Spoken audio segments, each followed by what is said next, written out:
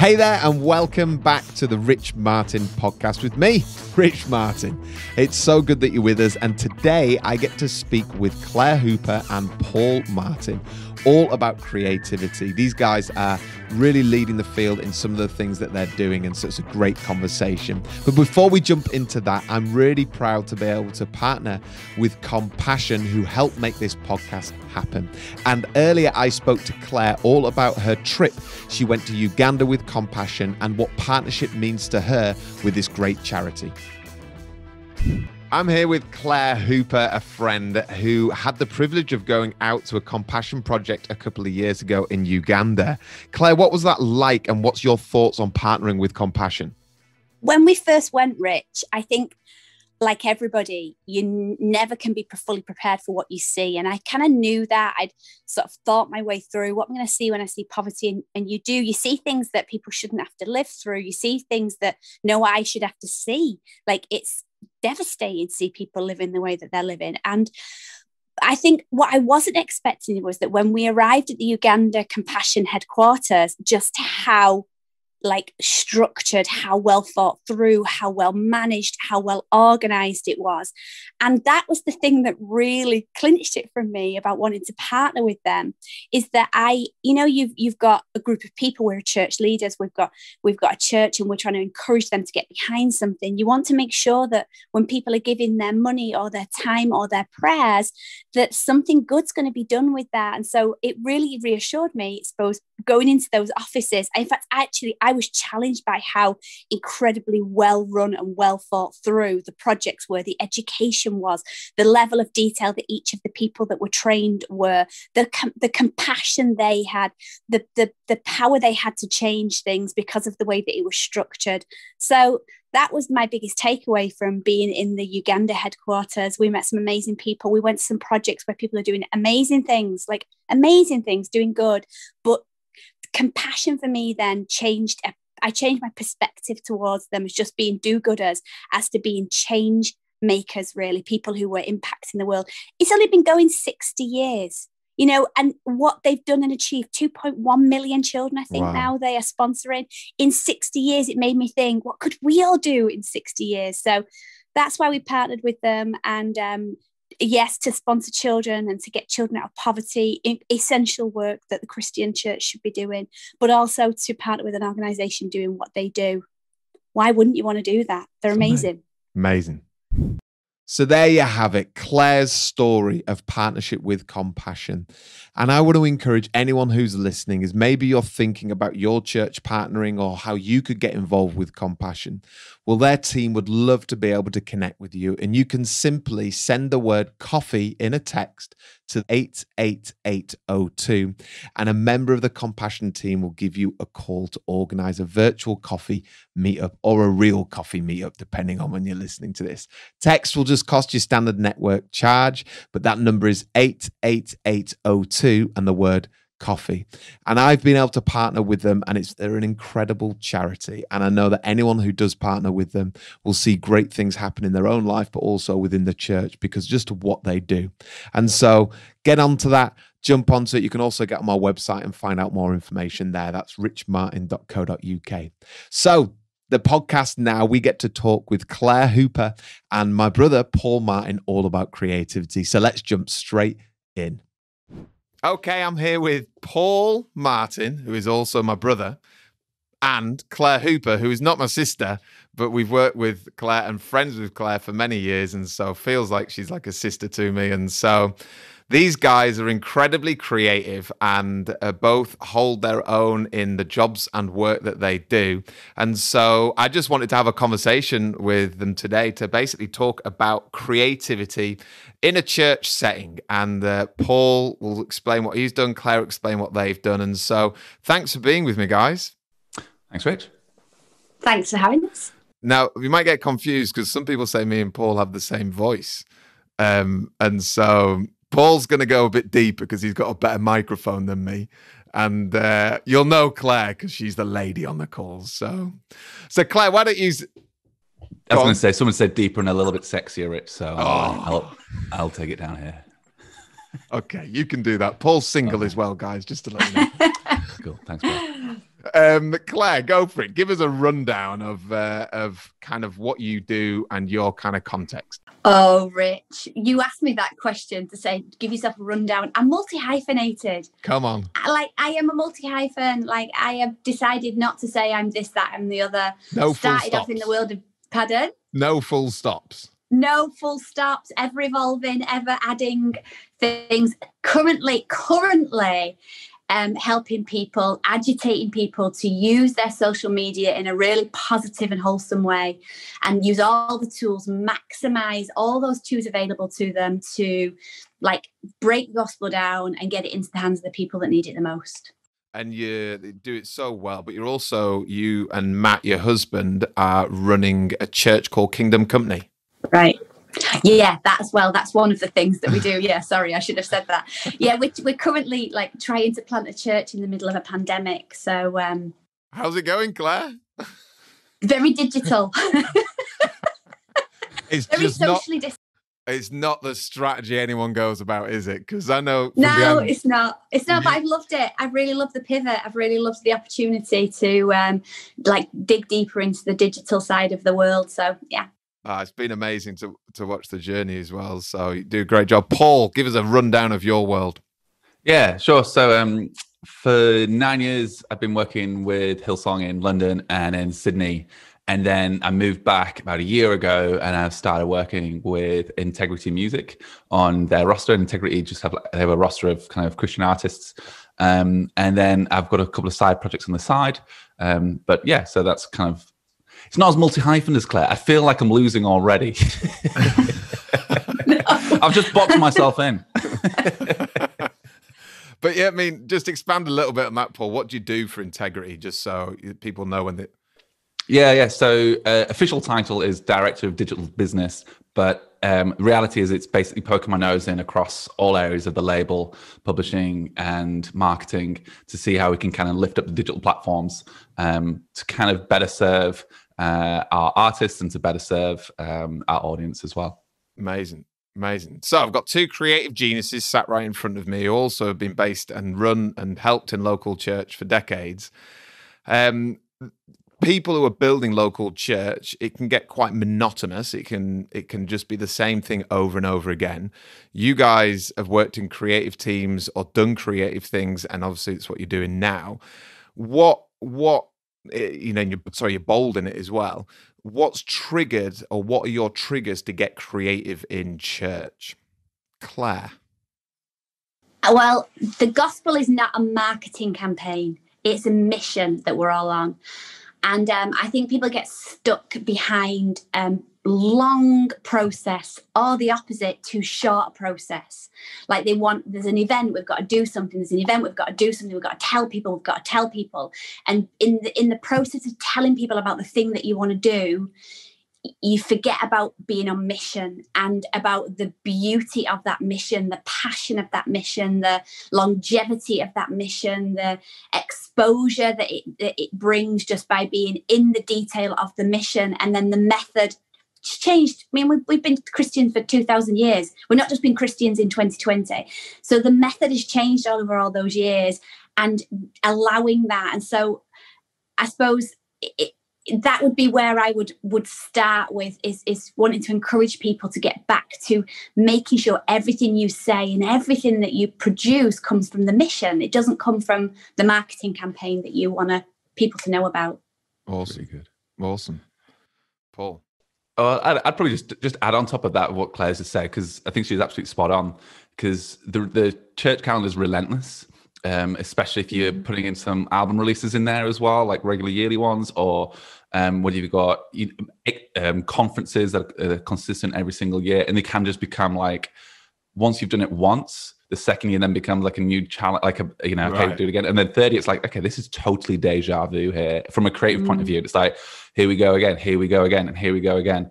And um, I think what Clare was tapping into there is so it's absolutely spot on when you start reminding yourself of the why, that that core driver. And the what is just a conference, right? And there's that Simon Sinek three circle thing. Everyone's read it, right? Everyone's at the blog. Yeah, yeah. But the the what is on the outer circle. That's kind of like the end result. But then the how you do it and the why you do it, are kind of like more concentric circles Mm. within.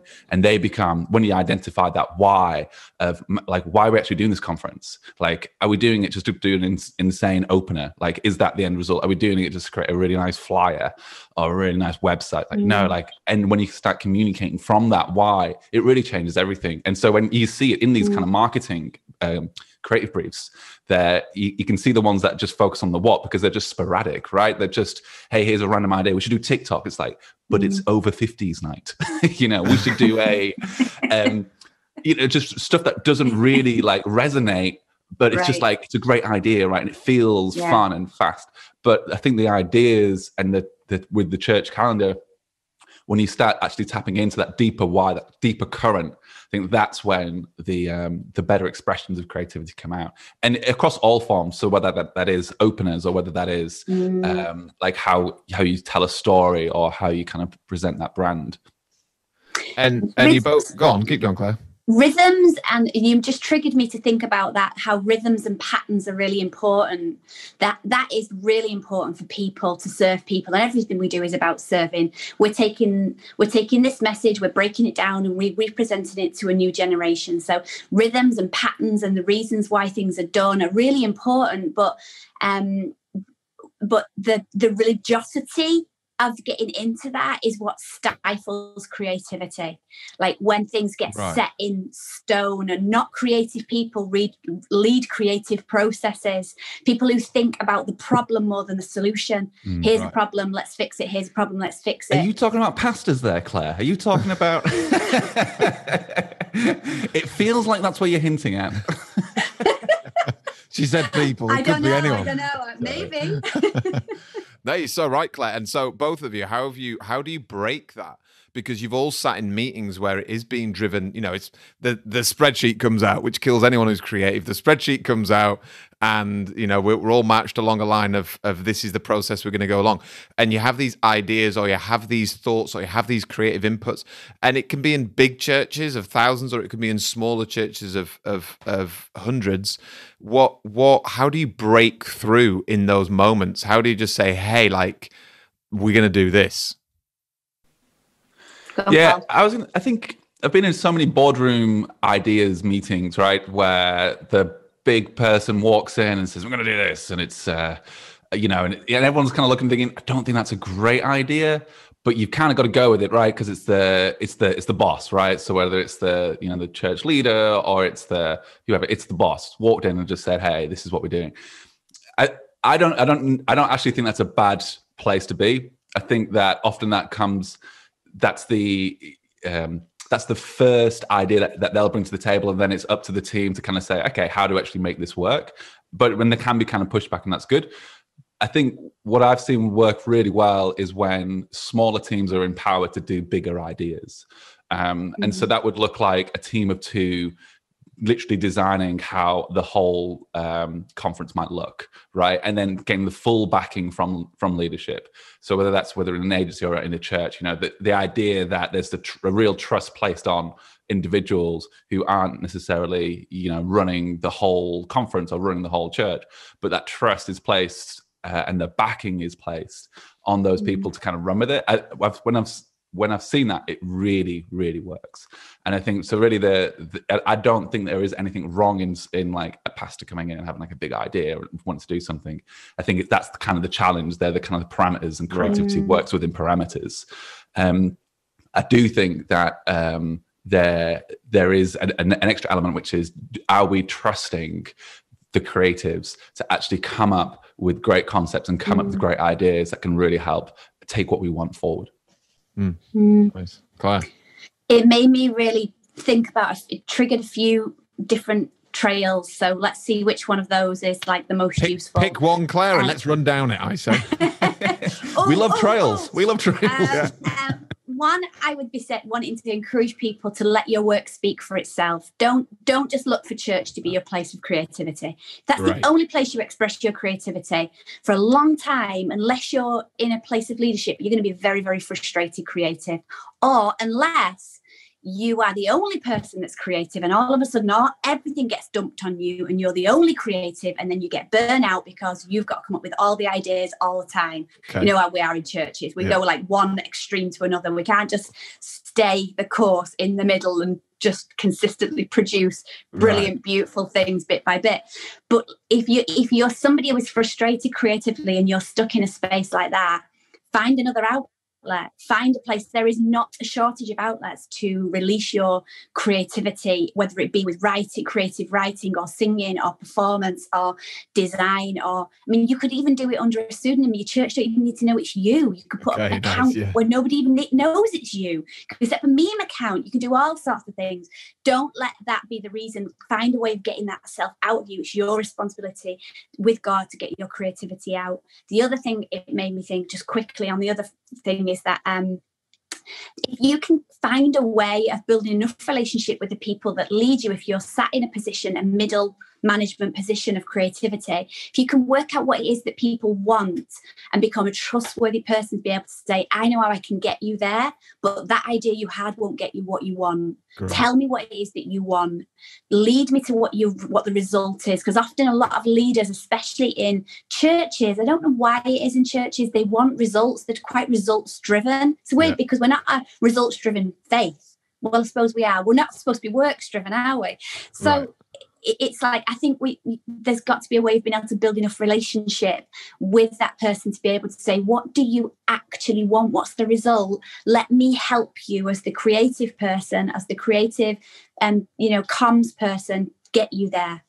Brilliant. I don't know. I mean, I think that would work if there was enough relationship. Yeah, so good. I mean, I think that's spot on as well because the, the other part of that is often sometimes when we're bringing ideas, it's like, hey, look how incredible I am. Like, look at this fantastic thing. And Clare's just tapping on stuff, and they're like, okay, would you be comfortable bringing it as a pseudonym? Would you be bring, comfortable if your name wasn't on there? Right. Um, but the I've, I always think about like, you know, you think of the the um, the Parisian painters, right? They would always partner up with each other, and you'd have these like the Picassos would always be like painting alongside, and like just really inspirational people and they'd, they'd hang out in the same bars right? And there's this this sense of like the best creativity often comes out of relationship. So whether that's relationship with your senior leader or relationship like with, with like a, a fellow creative. So and god works through relationship right? That's mm-hmm. how he works. And i think there is something really special about not just thinking what work can i create? What work can i produce? that is really impressive and gets the job done but what relationship can i build that forges creativity? Mm-hmm. what relationships can i create that brings the best out of me and also challenges the other person as well. That's good. And Paul, just tell the story of when me and you were chatting ages ago, and you said about um, when you worked at Hillsong that that you'd never you never asked the question, "What are other churches doing?"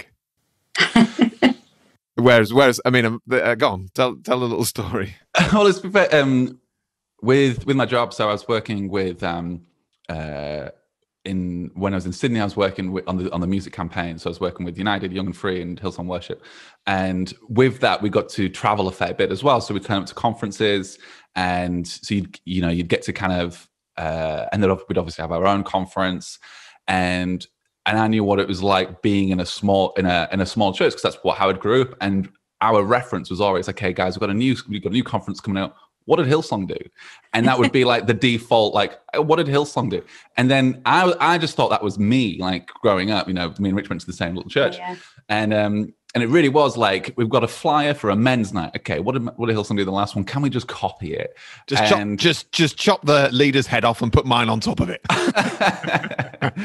yeah, so good. But um, and then to be, to be fair, I kind of thought that was just us when I then went when we were on these trips and we are kind of meeting with these other churches, we're like, oh no, there really is still this thing of like, oh, what are not just Hillsong Bethel, the the yeah, yeah. you know the the more the people with the bigger brands um, in in the church world, what are they doing? Like, how are they doing it?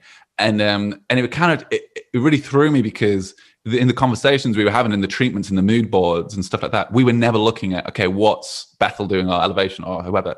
It's always like, okay, what's the core of this project? Like, what are we trying mm-hmm. to unpack? Who's doing this in the world? So we'd go out and like, we, you know, you jump onto all the um, you know, whether it's Tumblr or whether it's um, Pinterest or any of these kind of places where you're kind of mm. pulling in treatment boards, and and that's your starting point. Your starting point is the core. What we, we said at the top of this, the starting point is the what. Like, what are we trying to achieve? Like, why mm. are we mm. trying to do this? And what's the message we're trying to pull out? And everything around that. It is never what some what have so and so done on their last album release. What have X Y Z done on their last album release? And I think that's where um, that's the part that I was very surprised at is seeing still just how many people would be looking to the larger churches for creative direction. I'm like, mm. we're the worst at it, you know, right. and like as in we we're just you know we if you to compare us to a full creative agency, a Saatchi and Saatchi, um, one of those levels, it's like yeah we we're we're pretty good, but we're nowhere near like that right. yet. Um, but we do have something really special, which is obviously mm. a relationship with God. So I think that um, mm. that makes it a bit more fun. and that takes it takes total boldness and courage to to uncouple yourself from looking left and right. And it uh, in this case, we're talking about big churches and looking at what they're doing. And people would often say, "Well, you can be inspired by them," but over time, it does become a little bit of a competition is maybe not the wrong word, but a little bit. Look, they've just done this with how they do stuff, or they've just presented it like that.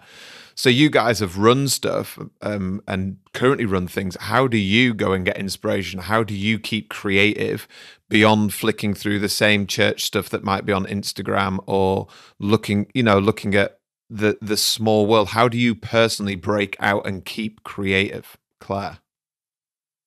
Uh, I don't think it's a wrong question that people are asking. I'm just going. I'm going to come to that as well. But I don't yeah. think it's a wrong question that people are asking. What are other people doing? I think they just position it at the wrong point in the process. Nice. So what what are Hillsong doing to be creative is a really good question. Not what did they what result did they get from their creativity? Mm. Like the result is the bit that we all get obsessed with because it's often the easiest bit. And it's it's part of that in the inspiration how do i keep myself inspired? I'm trying to always look at what's coming in the distance not what's now. If you if you do things that are now you're on trend. And being on trend is really fun actually. It's great. It's right. a great feeling to be on trend to be like yay! You know I look like people who are younger than me, or like, you know, I've got that vibe, or something's gone viral because it resonated. It's a really good feeling to be on trend. And it's and and a, a lot of new churches, um, smaller churches think that these bigger churches are, are on trend, so they want to follow that because they think if we're on trend, we'll um we'll we'll like you know be better liked or our content will travel right, further. right. and that's further than the truth. Even some of the, even some of the biggest churches and even actually on trend culturally. They've just got a huge fan base and a really beautiful amazing team that work together with a great energy to keep producing relevant content. To be innovative and to be leaning into the future, you've got to be able to forecast what's coming. And to forecast what's coming, you've got to do a lot of digging and a lot of research. You've got to be able to look at patterns and trends and where what are people buying, what are they eating, what are the current apps. I mean, I look at that all the time. What app what if they just launched what feature? Because that feature has come from a lot of research that i don't have to do but somebody else has paid for. So i'm going to look at how that works. How long are people lingering? Why are they lingering? What are the things that people are searching? What search what search tools? We found with kingdom company one of the one of the things that is currently one of the the the most I suppose, positively engaged with content is when we write prayers that people can read and share with themselves. And that came from literally me searching what are people searching? What are the current hmm. hashtags? What are people looking for? They want language for what's going on and they don't necessarily have the words for themselves. So if we write them some prayers, right. we can then give them some tools before their head hits the pillow and they can read that. And then because we've added value, so it's it's forecasting. There's a prophetic element to it, but there's also a like a shepherding element because good shepherds forecast what's coming in the distance. So you look at the fivefold. You love the fivefold, don't you, Rich? I love the fivefold. If you look at what that is, the evangelist mobilizes. The apostle wants to recreate. The teacher wants to take everything and make it this, this, this. The shepherd wants to lead the people. And I think that social, digital communication, creativity is very shepherding and it's also very prophetic because it, it forecasts the future for people and Amazing. it also creates a pathway you you don't want to be so far ahead that people don't understand it and think what is that that's weird and no that's not I, I, that's you're just a little thing on the side. But you don't want to be so in the now that um, people think you're just copying as well. So it's that constant and, and you've got to be brave haven't you paul? You've got to be brave to do that because it means that it doesn't always land how you thought it was going to land if you if you really want to innovate innovation. Yeah and, and there, there is duds. I think um, we did uh, the one that comes to my mind is we spent uh, three nights working on this concept for a Christmas release we did, and we filmed everything, and then we we watched it in the edit room like. This isn't very good, and we, it was this moment like, oh no, you know, we spent so much time. It's like it's not very good. It's just not landed. We just we had to scrap it, and it was fine, and we had to do something new. But that that I, that thing of like there is exactly what Clare said. There is something about looking at how a process, something comes to pass, not what it is that's come to pass and the how is like cool you trust yourself. And i do believe that like mm-hmm. creativity is an unfolding of what's within mm-hmm. right? And so there is something that just you feel like you have to unfold it. Just sometimes it's not very good. And that's okay. Absolutely.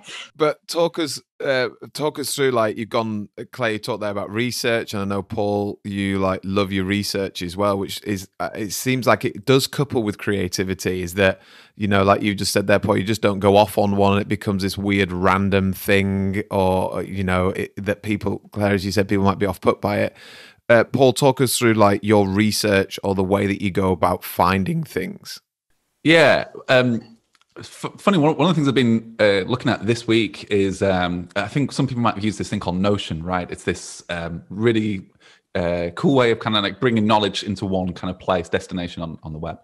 And um, I've been looking at that because more and more I'm seeing these sites pop up, which are essentially kind of like curation lists of knowledge. And they're using this thing called Notion to do it.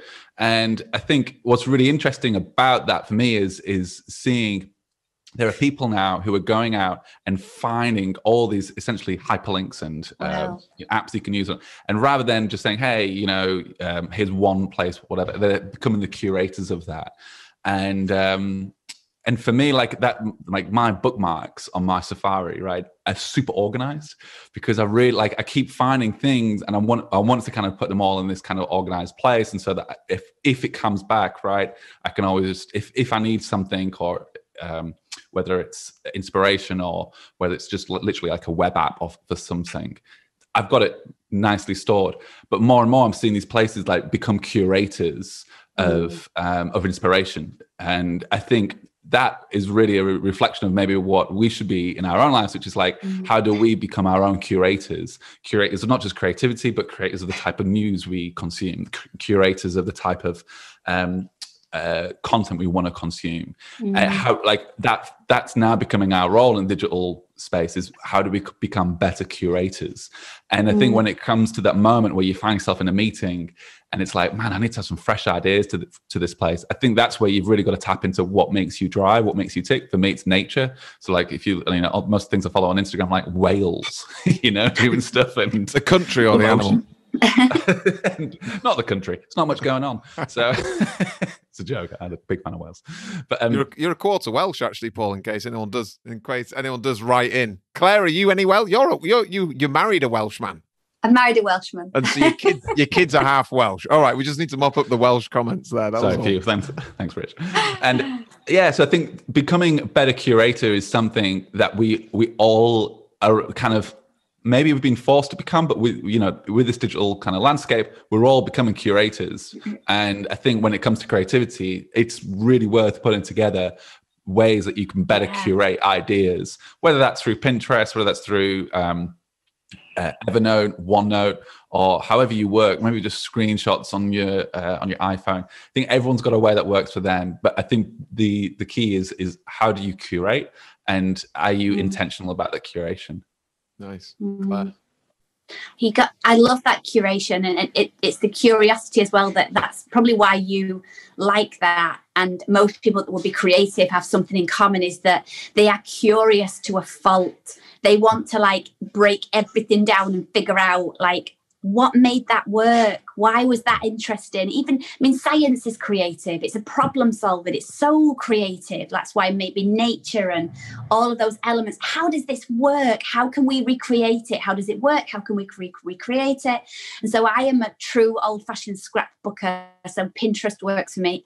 My organization you probably cry paul if you saw it. It's, it's, it's my my desktop is just about a thousand downloaded images and every so often I have to delete them all because my, my Mac no longer runs. My son comes the, the, in and types Those are the good days, right? When when when you've got like your thousand uh, screen grabs, it's like okay, yeah. now I've got to go through, and now I've got to, and you know, you might do Which that once every two months. And, exactly. Yeah. I but I am a Pinterest. I am a I love I love just going through there. I love following people that are not like me constantly most of my feed, my Instagram things, and I watch. But the kids say to me, "Mum, you watch the most random programs. Like Netflix does not know what to send me because I do not follow a pattern. I don't. Like it's confused. I'm like, no, I would not like that. My YouTube is like, no, I really would not like that. but I, but because I'm purposefully trying to stay curious. What do you think? Why do you think that? Where's that leading? Why? Why did you arrive at that decision? What was it that made you think like that or do that or go in that direction? And then because on mass people do things on mass you think you're being you think you're being you know new and fresh and you realize you've been led by a whole sequence of things like consumer reports and shopping and you know like the way that the world is. That's why so many you know even even with the um, vaccine that we're all scrabbling to look for now, they're looking for the same things just in slightly different ways. And they'll arrive at a decision. Lots of people will arrive at a decision around the same time because there's loads of factors that are pushing us towards this new technology or pushing us towards new ideas and behavior changes and people change, which lead you to lead us all to the future, even if we don't want it. So I'm constantly trying to gather ideas, colors, ways what people are interested in, why they're interested in it. I I spend hours looking at comments mm. on like YouTube videos or Instagram things. Why did that make you say that? Why is that bothering you? Mm. What is it? What is at the core of that? Why is preacher sneakers a thing? Why is it bothering you all so much? What is it? What is the essence of that? Why? What is driving you? And how can then we be looking at that as an issue of the human heart and how can we bring the gospel into that and present it in a way that is life-giving enjoyable entertainment enriching which is what the christian life is yeah amazing amazing um all right um uh, maybe one or two last questions but where's the line between clickbait trendy relevant cool and like gospel. I'm not saying, um, even me saying that is as if I'm removing gospel from any of that. I don't think gospel's clickbaity, by the way. But, um, but like, you know, how far can the boundaries be pushed? Like, where do you, where does it stop, or, or how do you navigate those things of like, you know what, like, you know, we just can't go there because it's just not part of how we believe or how uh, what we what we confess to believe and the Jesus that we know. So, so how do you navigate those things? I think in the word clickbait, it the idea is if you actually just step back and think about that word, like bait is something where I can catch you, right? So I use the bait to catch you and to get you for my game. I think it's really important to think about okay, what is the content you're creating and is it serving? So, you know, it's not clickbait if it's serving people. And you can use right. a tool like a, a, fancy title or a, a, a thumbnail, some optimization, whatever, like to to help you increase the chances of this content serving people. But I think there is this sense of clickbait is often for how can I make as much money as possible? How can I get as many eyes on this content as possible for my own gain? I think it's really important to to recognize like what the is the content we're creating is it serving people, and that's where I think it's it's it's good to really go through that and think actually is is this actually clickbait? Are we creating clickbait mm. content, or okay, is it nice. um, stuff that? Uh, here's a what do you think about this, Paul? You've probably done a bit more. You might have done some research on like that on Jesus and the way that he did some very clickbaity, clickbaity, right. you know, things like you know the story. The story immediately of the woman who the issue of blood comes to mind, where he walks into a town, he does five things apparently in a row that were shock worthy Like I mean, like oh my gosh, men are not supposed to do that women are not supposed to do that. He then puts, he then lets a woman who's got an issue of blood uh, touch his cloak. He's supposed to go and burn it. He then takes that cloak that's supposed to have been burned and puts it over in the next story, puts it over a girl and heals her and brings her back to life. Like Hmm. it is all of these things that are like, oh my, oh no, did you? I can't believe you did that. You know, and Jesus, like these stories contextualize. We have so much history now and ho- so much contextualization Right. of being able to understand. He totally knew that those things were going to cause a gasp and a shock in that crowd. And exactly what you're saying, Paul, though, was not to bring people to the the idol of him. It was to bring people into a new life that was supposed to be transfor- transformational followership. But Clare, I mean, I, I I I love that. I think it's brilliant. But I'm talking uh, and and and same with what you said, Paul. But there are fine lines, and so the fine lines are, um, you know, you've just talked about like you know we point the clickbait points to Jesus, but how do you navigate fine lines of where it's actually just pointing to you, or it's pointing to look how creative we've been? Have you got some clickbait in mind that you're thinking of? oh, I just need to open up my Instagram and spend a, a minute on it. You know, kind of like I think it's got. I suppose what I'm getting at, and it's a good question, is is I go through Instagram and I see a lot of stuff, and it is a bit confusing. Which is, you know, for example, I received an email the other day from someone who was a preacher selling me a T-shirt, and at the end of him selling me T-shirts, of this email I received, um, it said, it said, hey, you know, it was all about his T-shirt and and him getting some T-shirts in um, sales, which I don't have any issue with particularly. And then at the end, he put a line which is like, hey, just know that we're praying for you and your family um, this week. Thinking, no, you're not. You're uh, selling me a T-shirt.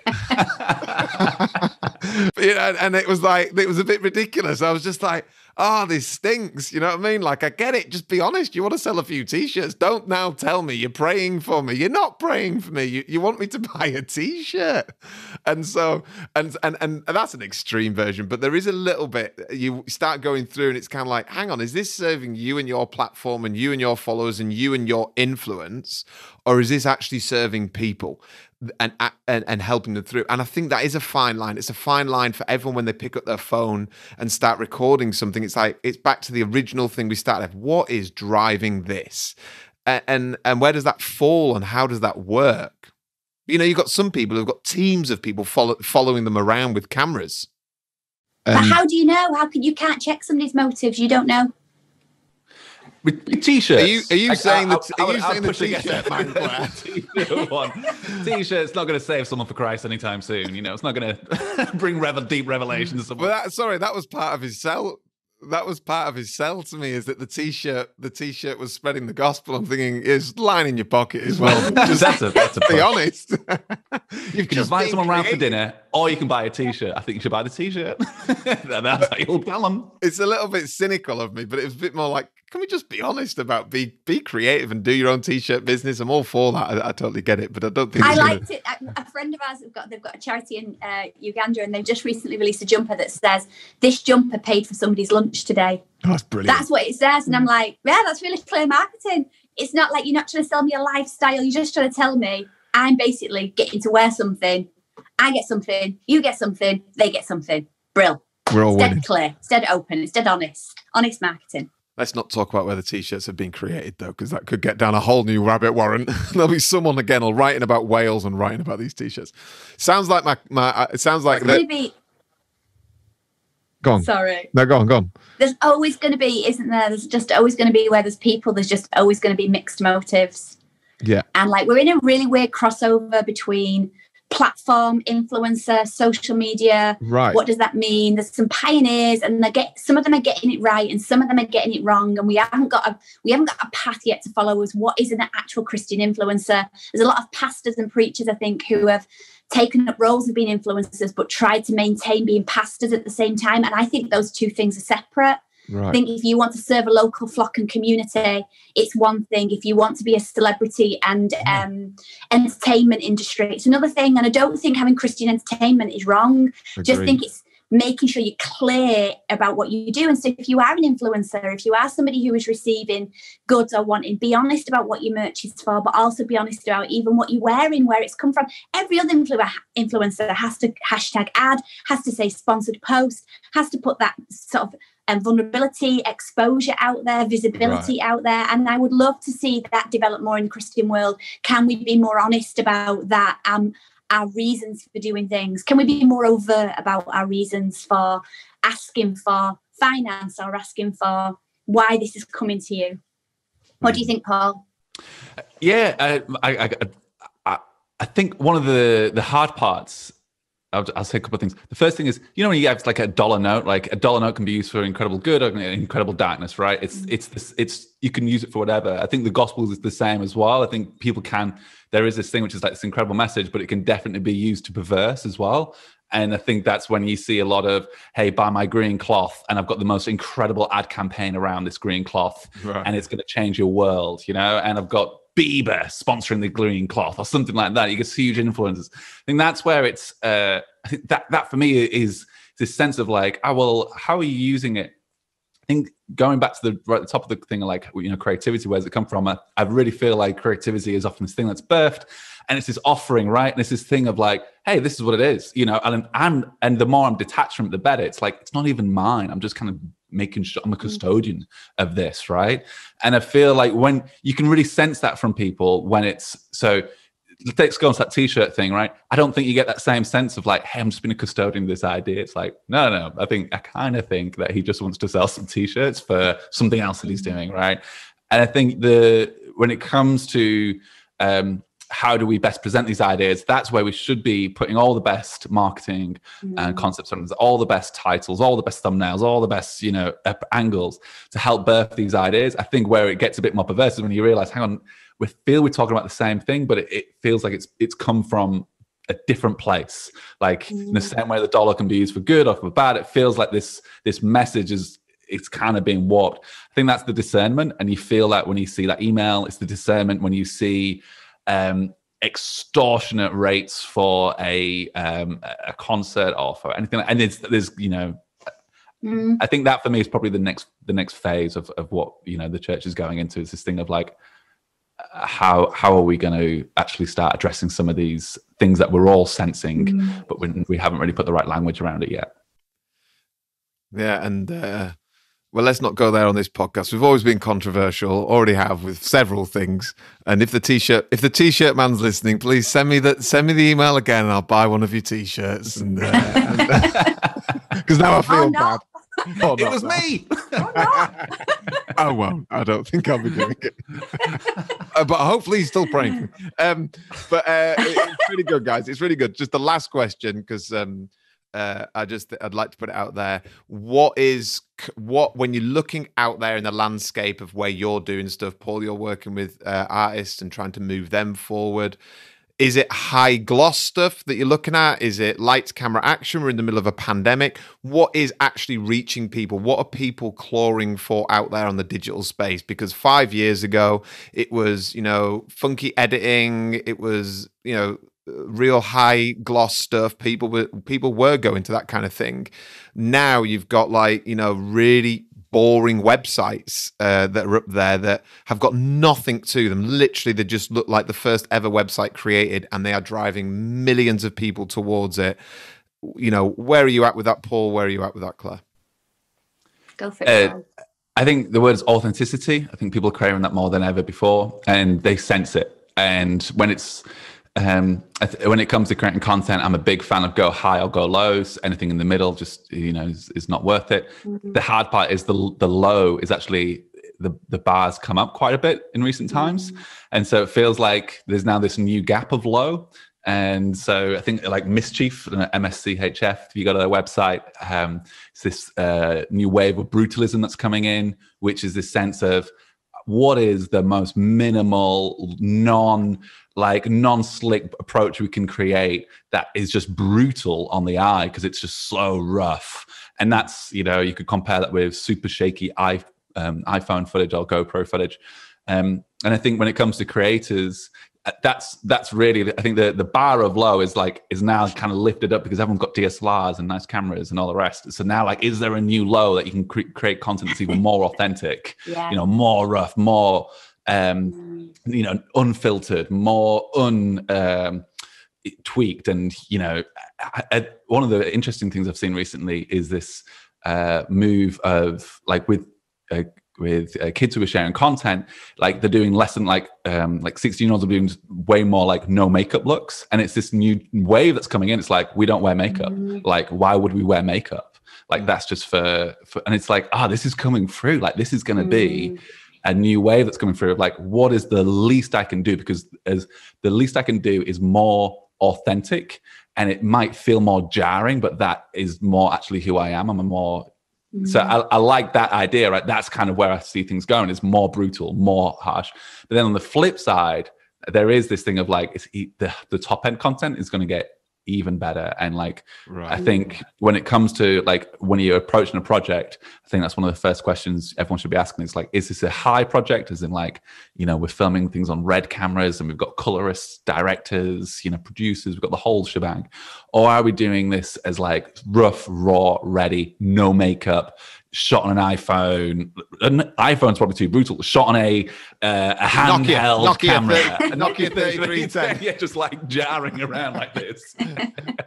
yeah, right. Yeah, it's like five frames a second. Yeah, but it, uh, I think that is this. That's that's that's the trend that I see coming. I'm like, Mm. the trend won't be what's the new filter. It's going to be how can I appear even more raw, rough around the edges, real, um, because authenticity is it, it's becoming um, the, the the currency of value of like how authentic you feel you connecting with someone else. That guy sends you the email of a with a t-shirt. Like, I don't think he's praying for me. you know what I mean? But you you see like a handheld piece of footage of him and his family praying for people. It's like, oh, awesome! This guy's this guy's Mhm. legit. And I think that that's where it's going to be. Um, that yeah, that that for me is, is something interesting that I'm definitely Nice. looking at. Clare? Mm. Oh gosh, I wish I had video skills. I love listening to you. I'm like, oh, I feel like I don't know anything. um, I think fast anything fast paced. Video's not going anywhere, is it, Paul? It's still by far the most consumed, watched, and the algorithm favor favors it. So if you really want your content to travel and get in front of the right eyes, the right people, video keeps people on the app for as long longest or carousels. So you want to be creating content like that but short form tiktok this last year has really changed like especially that younger consumer you've got 15 seconds maybe 12 seconds the tiktoks that i do around 12 seconds is what is what grabs people and keeps people rewatching what what what gets people to watch your content again which really helps it travel and it really helps it land when somebody watches something once they might get a sense of it but when somebody watches something twice or three times or four Right. times you're then start to see it land and having a bigger impact on their lives. And because we've got a gospel message and we're we're not just putting out, you know, bubble and froth. We've got a message. We want things, we want things. And so people's attention span is,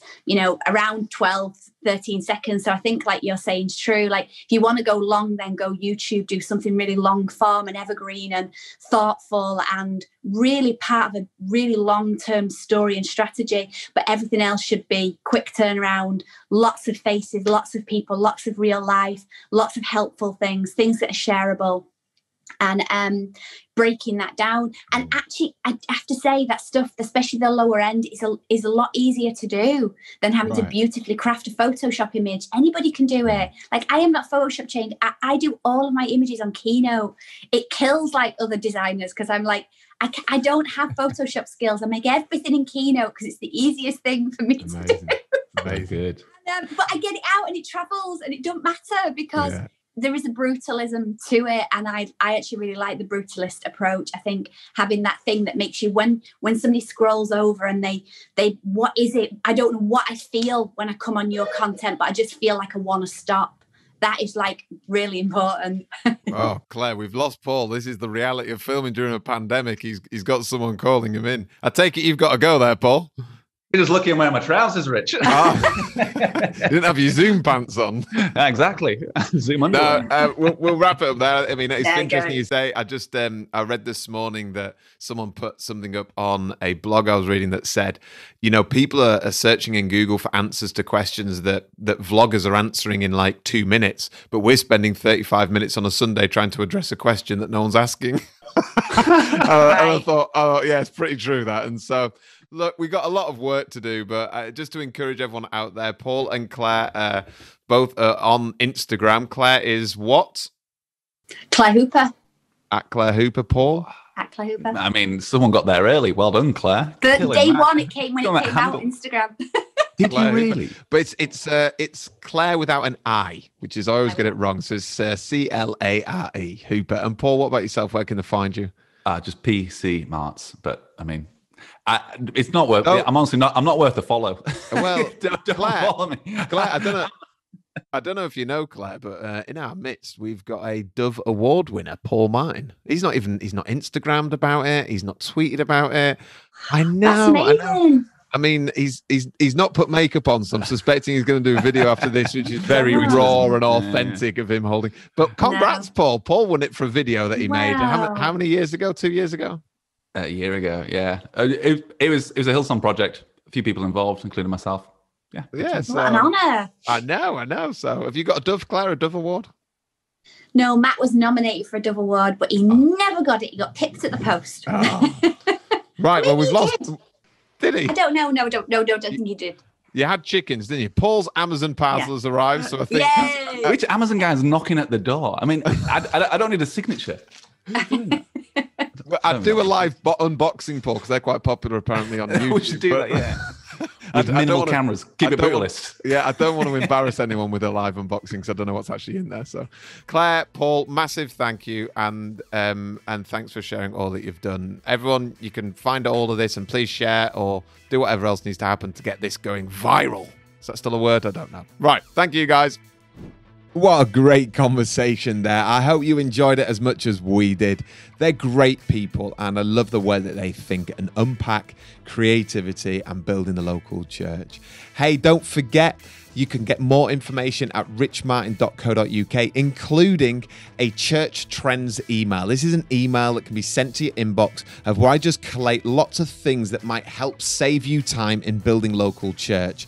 Jump on it, just put your email in, and then once a month, I'm going to be sending an email out to anyone on there. I'm not going to bombard you, I'm just going to provide information and links and shortcuts to what I think would be helpful to any church builder um, around Europe. So just jump on there. Thanks so much for being with us. There's going to be another one of these dropping soon whenever I can get it out there as soon as I can. But thanks so much for being with us.